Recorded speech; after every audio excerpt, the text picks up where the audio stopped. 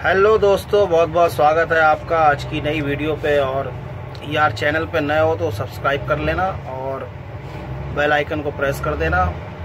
तो जैसा कि आपने थंबनेल में देखा है कि बहुत से लोग क्या करते हैं कि गाड़ी चलाना, जब नई नई गाड़ी चलाना सीखते हैं तो जब भी नए नए बैठते हैं गाड़ी के ऊपर तो वो स्टेयरिंग को किस तरीके से जो है चलाते हैं, वो मैं आपको आज दिखाता हूँ और आपको किस तरीके से स्टेयरिंग घुमाना है, ये भी मैं आज आपको बताने वाला हूँ। तो चलिए बिना टाइम गवाए जो है वीडियो को शुरू करते हैं। तो यार देखो, ये है हमारी गाड़ी का स्टेयरिंग और इसको आप जब भी नए नए आप चलाओगे तो लोग क्या करते हैं कि जब नए नए गाड़ी चलाने पर बैठते हैं, वो नई नई चलाते हैं गाड़ी को तो वो गाड़ी हल्की सी बाएँ भागती तो एकदम से बाएँ काट देते हैं। और दाहिने को भागती तो एकदम से दाहिने को काट देते तो गाड़ी को एकदम से दाएँ बाएँ नहीं काटा जाता, बल्कि जो है, इशारे में चलती गाड़ी, और आप कभी भी किसी भी ड्राइवर के साथ बैठ के देखना तो आपको पता चलेगा कि गाड़ी जो है स्टीयरिंग जो है, वो सिर्फ़ इशारे में ही मोड़ा जाता है, और जितनी ज़्यादा गाड़ी स्पीड में हो जाती है तो भी गाड़ी बिल्कुल इशारे में चलती है। जैसे कम रेस में तो तो दाएँ बाएँ काटते हैं स्टीयरिंग को, लेकिन जब स्पीड पकड़ती है, चाहे वो छोटी गाड़ी हो या बड़ी गाड़ी हो तो इशारे में ही स्टेयरिंग को चलाया जाता है। अगर आप एकदम से ज़्यादा बाएँ काटोगे तो बाएँ भागेगी गाड़ी एकदम से। ज़्यादा दाहिने काटोगे तो फिर दाहिने भागेगी। तो उससे क्या है, फिर नए आदमी को संभालने में गाड़ी दिक्कत होती है। लेकिन कभी भी आप चलाना और आप बिल्कुल जो गाड़ी का आगे का हिस्सा होता है तो आप जैसे आपको ये लोहे का ये एंगल पड़ा दिखाई दे रहा है, आपको यहाँ पर नहीं देख रहा थोड़ा सा आगे बढ़ के देखना है। जहाँ पे वो पिकअप जाती दिखाई दे रही, इतनी दूरी पे आपको देखना है।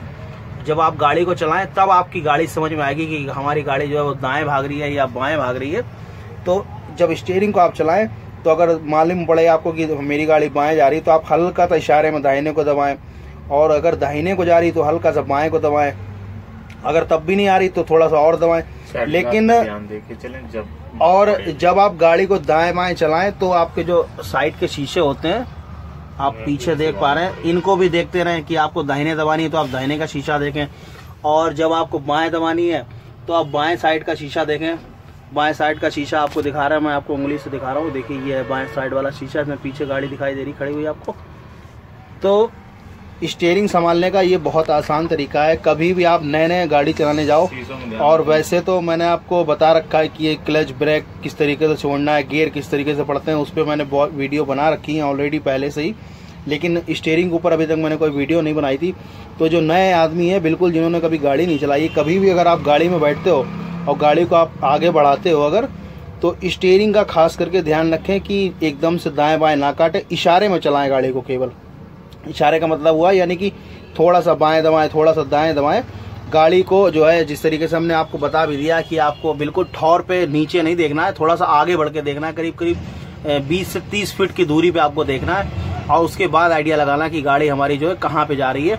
तो इस तरीके से आप गाड़ी जो है बहुत ही आसानी से चलाना सीख जाएँगे और स्टेयरिंग भी बहुत जल्दी आपकी समझ में आ जाएगा, क्योंकि गाड़ी में मेन चीज़ जो है, गेयर आप दो मिनट बाद डालोगे, कोई दिक्कत नहीं। आधे मिनट बाद डालोगे, कोई दिक्कत नहीं। लेकिन स्टीयरिंग अगर आपका नहीं संभाल संभाल पाओगे आप तो आपको जो है गाड़ी चलाना नहीं आ पाएगी और अब बड़ा टाइम आपको लग जाएगा गाड़ी चलाने में।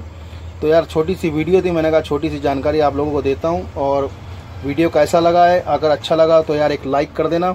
और चैनल पर नए हो तो चैनल को सब्सक्राइब करके साथ ही बेल आइकन को प्रेस कर लेना। मिलते हैं नई वीडियो में, एक और नई जानकारी के साथ में। तब तक के लिए गुड बाय